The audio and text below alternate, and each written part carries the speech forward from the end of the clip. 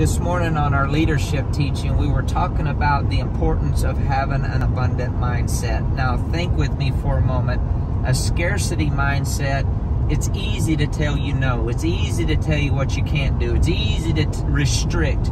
But an abundant mindset lives on the other side of yes. 2 Corinthians 1.20, all the promises of God in Him are yes, and in Him amen. One of the names of God is El Shaddai, which means God is more than enough.